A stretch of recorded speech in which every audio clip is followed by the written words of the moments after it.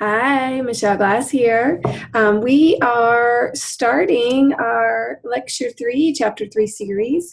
I have this one divided up into two parts. So we are looking here at Part 1, which our subject here is the cell membrane. So we're going to be focusing first on the anatomy of the cell membrane and then moving on to the physiology of the cell membrane. All of this is listed out for you throughout your Chapter 3. So look at your module headings to find out which pages to read. And then from there, we'll pick up other details of the cell as we progress into part two of our chapter three. So our topic here is the cell membrane, and this really deserves um, its own discussion because the cell membrane is that outermost border of the cell. And we see this, of course, for human cells, which are animal cells, but we see this with um, actually all cell types. So this is universal. So if you're going to be taking a microbiology class and you study um, bacteria or fungi or other protists, you'll see that the cell membrane uh, information that we study here is applicable to all of those cell types as well as plants and um, other organisms uh, not listed, which I've pretty much covered most in my little uh, discussion here the signature feature of the cell membrane or its signature job um, is that it is going to regulate what gets in and out of the cell. And so what we see is that it's making this border, keeping the fluid inside of the cell separate from the fluid outside of the cell. So we have a name for that fluid inside of the cell. We call it the intracellular fluid, which we can abbreviate ICF, and that's typically how I will refer to it in this course. Um, but we also can uh, use the term cytosol to describe this fluid component inside of the cell. All of the fluid that we find surrounding that cell is called the extracellular fluid or the ECF. Um, in the human body, then, or in other complex uh, multicellular animals, we can call that fluid surrounding the cell the interstitial fluid.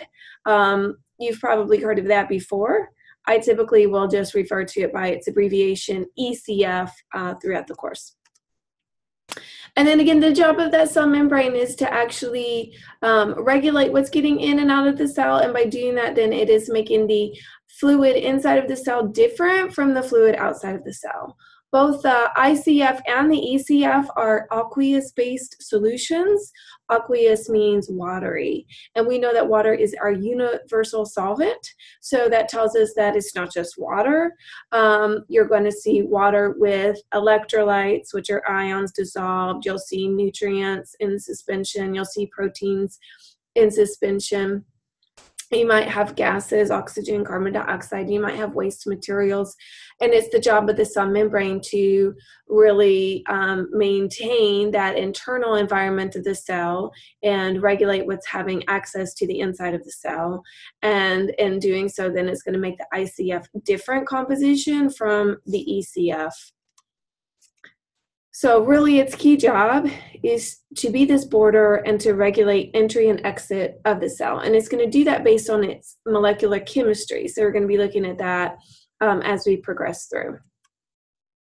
And the significance here is, of course, that this is maintaining the homeostasis of the cell. And in the case of our bodies, then not only is it regulating the homeostatic composition of the inside of the cell, but it's also helping to regulate the homeostatic composition of the extracellular fluid.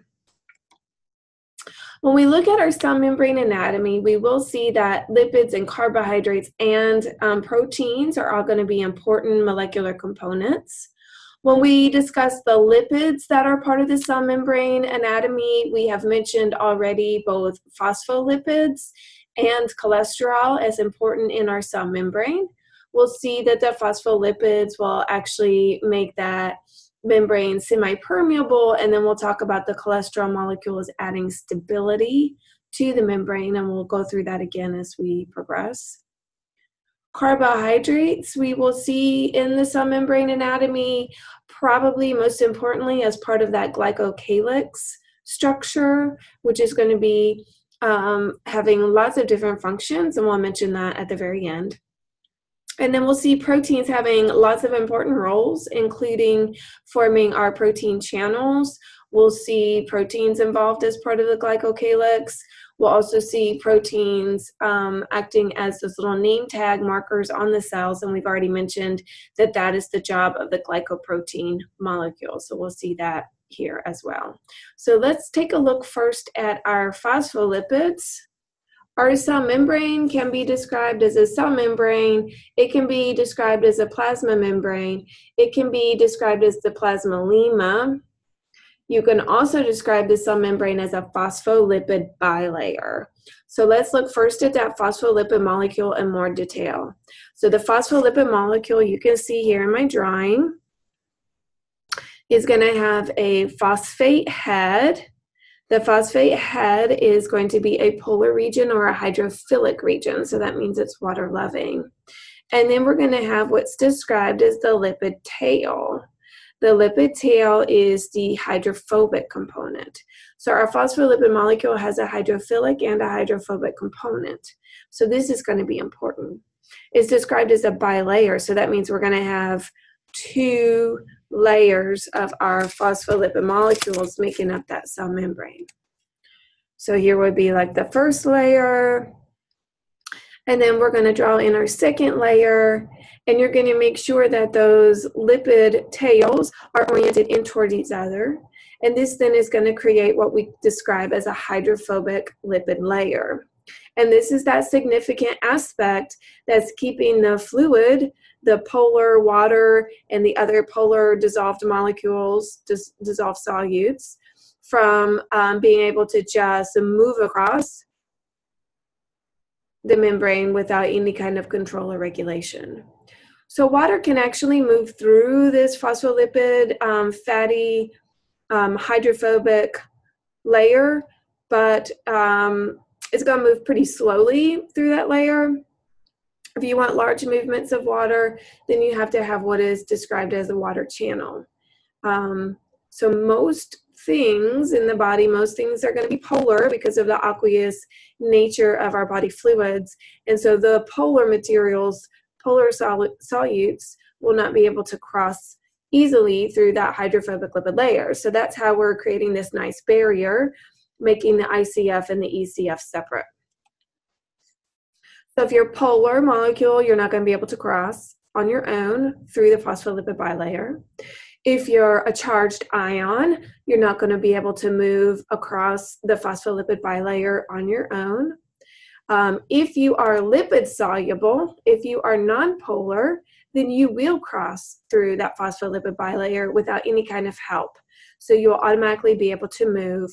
And so we see oxygen gas molecules are um, lipid soluble, so they can just move directly through that phospholipid bilayer.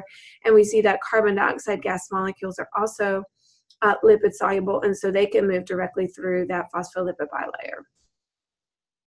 And so we can describe this as being semi-permeable or selectively permeable, meaning that if you're lipid soluble, you can cross through without any assistance, but if you are um, polar or have a charge, if you're ionic, uh, an ion, then then you cannot cross without some kind of help. Okay, so we've mentioned that we have our um, phospholipid molecule as part of the semi-permeable structure of our cell membrane. And then we have our cholesterol molecule, which is a lipid embedded into these fatty acid tails, which is really helping to stabilize the structure. Otherwise, it'd be like really, really fluid and there wouldn't be a lot of uh, rigidity to that cell membrane in the way that we need.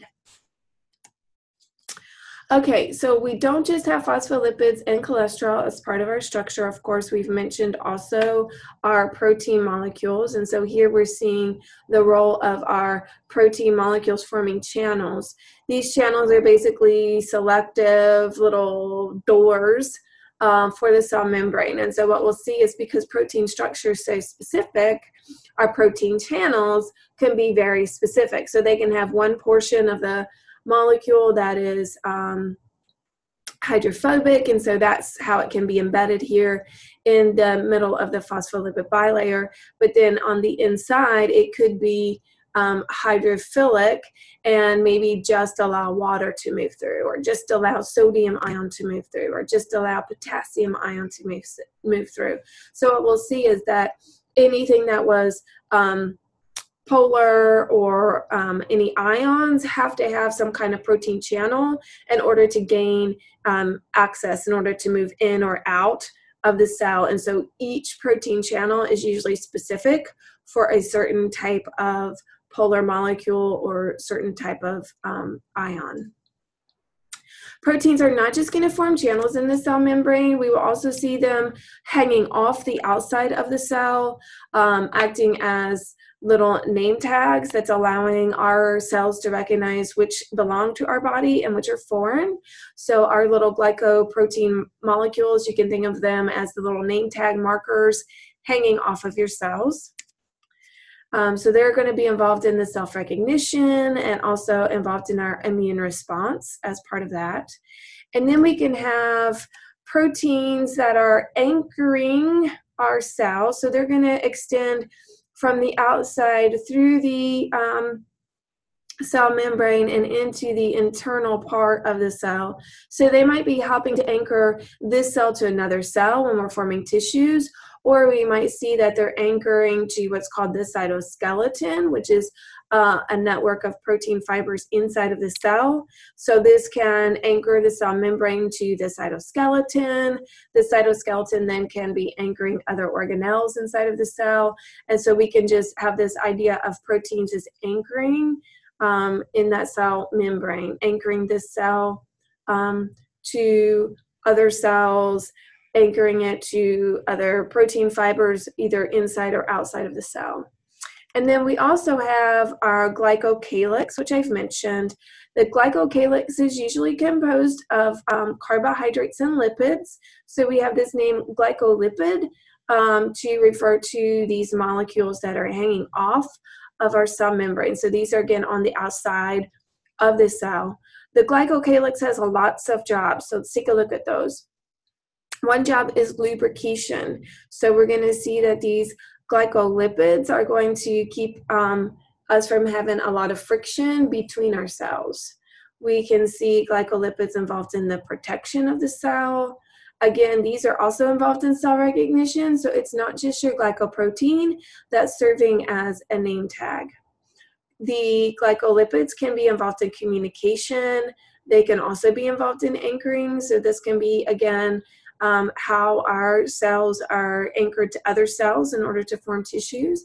And we can see those glycolipids involved in, um, or the glycocalyx involved in locomotion or movement of the cell.